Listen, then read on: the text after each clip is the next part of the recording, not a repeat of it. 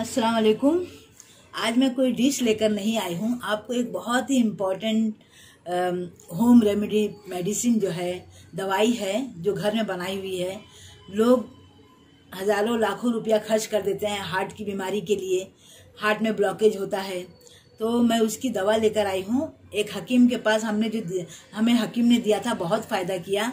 इस दवा को लेने के लिए लाइन लगती है, लेकिन हम, आज हम घर में बना के आपको बताते हैं। मैंने इसे इस्तेमाल किया है और हमारे घर वाले ने इस्तेमाल किया है। बहुत ही फ़ायदेमंद दवाई है। ये जो है, हार्ट के ब्लॉकेज को खोलता है, बीपी को बराबर करता है और कोलेस्ट्रॉल को बराबर करता है। और अगर ट्राइग्लिसराइड अगर ज़्यादा हो गया हो तो उसको भी कंट्रोल करता है।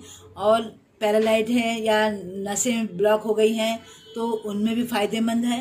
मतलब वेट लॉस के लिए भी बहुत अच्छा मतलब हर तरीके से ये ये जो बना हुआ मेडिसिन होता है, ये बहुत ही फ़ायदेमंद है।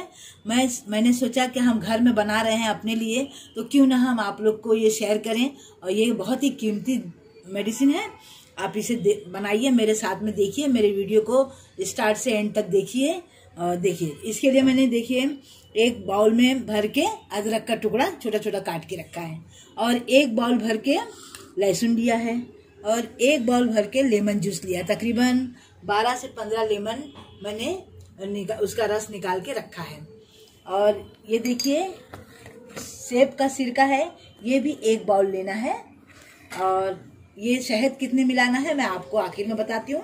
पहले हम क्या करेंगे, इन सबको मिक्सी में पीस लेंगे। ये अदरक और लहसुन को पानी डालकर थोड़ा पीसेंगे, क्योंकि डायरेक्ट नहीं पीसा जाएगा। पीसने के बाद हम इसे कितना पकाएँगे वो आपको बताती हूँ। पहले पीस कर बताती हूँ। अदरक का पेस्ट मैंने बनाया। सारे अदरक और लहसुन का पेस्ट बना बनाकर मैंने देखिए कढ़ाई पे ये छन्नी रखा है। इसके जो बारीक छेद है, इसके लिए इसमें अब हम इसे छान लेंगे और जो बचेगा, इसे फिर हम एक दफ़ा मिक्सी में ग्राइंड करके थोड़ा थोड़ा पानी मिलाएँ, ज़्यादा पानी ना मिलाएँ। तो हम सब पीस के आपको बताते हैं कढ़ाई में छान कर। अब देखिए मैंने अदरक और लहसुन के पेस्ट को पीस कर पानी से मिलाकर अच्छी तरह पीसा और उसको खूब अच्छी तरह छाना। और ये देखिए जे, इसका वो निकल गया। इसे हम फेंकेंगे नहीं, इसे मसाले में यूज़ कर सकते हैं। और अब ये नींबू का रस है एक बाउल। ये भी इसमें हम छान देंगे। बीज निकाल देंगे। आपको रेशियो बराबर याद रखना है, एक बाउल लहसुन है जितना आप लहसुन लें, उतना ही अदरक लें, उतना ही लेमन जूस लें। ये तीनों क्वांटिटी एकदम बराबर होनी चाहिए। अब छान के हम क्या करेंगे?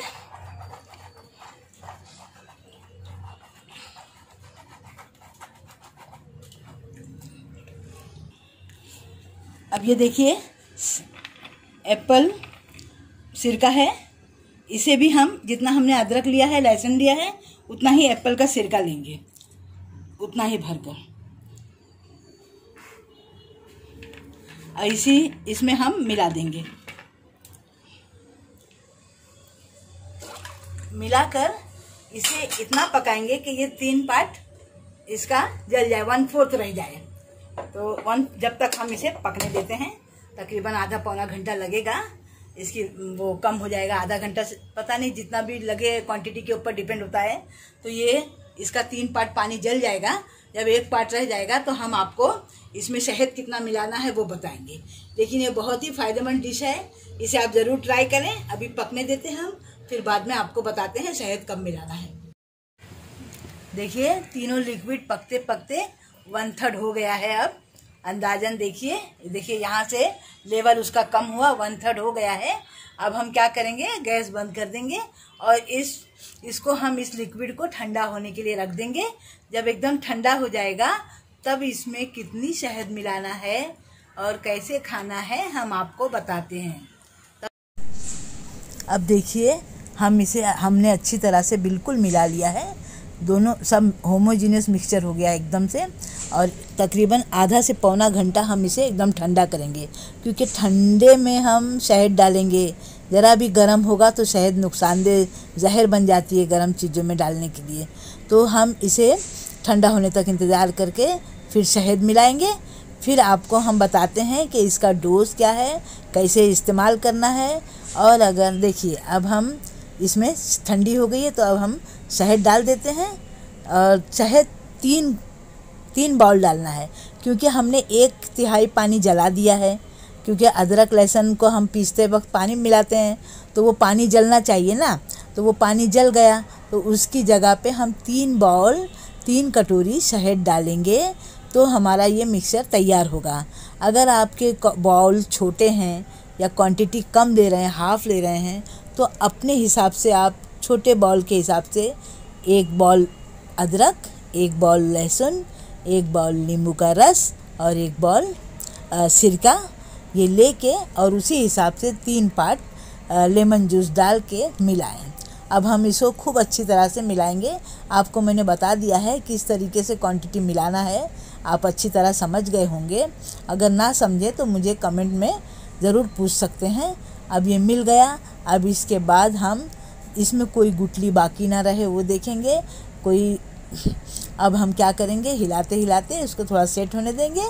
फिर बॉटल में आ, एक बॉटल में भरेंगे। तो हम बॉटल में डायरेक्ट तो नहीं डाल सकते हैं। तो हमने एक मग लिया है। उसमें मग में से लेकर इस बॉटल में एक ट्रांसपेरेंट बॉटल है। अगर आपके पास कांच की शीशी हो तो ज़्यादा बेटर है, नहीं है तो इसमें भी चलता है, ख़राब नहीं होगा। अब इसे हम फिल करेंगे। और इसका फ़ायदा ये है कि ये दिमाग के दिल की हर एक नस को, पूरे जिस्म की नसों को खोल देता है। अगर आपको यकीन ना हो तो आज़मा के देख लीजिए। हमने आज़माया है, इसीलिए हम सवाब जारिया के तौर पे ये डाल रहे हैं। क्योंकि जिस हकीम से हमने लिया था, वहाँ पे लाइन लगती है इसे लेने के लिए। जल्दी से मिलता नहीं है। तो मैंने सोचा कि क्यों ना हमारे भाई बहन जो इस बीमारी से, जो इस चीज़ से परेशान है, लाखों रुपया हॉस्पिटल में लुटा रहे हैं तो ये सौ मतलब दो पाँच सौ की चीज़ से हम एक महीने में, दस दिन में, दस दिन में भी इसका असर दिखाई दे देता, महीने में भी असर दिखाई देगा। ज़्यादा दिन नहीं खाना पीना पड़ता है। तो आप इसे ज़रूर आजमाएँ। और मेरे बताए हुए नुस्खे पे चलेंगे तो इन ज़रूर फ़ायदा होगा। मैं डॉक्टर तो नहीं और ना ही खुदा हूँ लेकिन मुझे किसी ने ये सलाह दी और हमने यूज़ किया और हमें फ़ायदा हुआ तो हमने दूसरों तक ये फ़ायदा पहुँचाने की कोशिश किया। सवाब और इन करते रहेंगे। आप भी दूसरों को फ़ायदा पहुँचाइए सवाब कमाइए और अगर आपको हम्म, ये डोज़ हाँ एक चीज़ मैं बताना भूल गई। सबसे मेन चीज़ इसको कैसे पीना है वो देखो।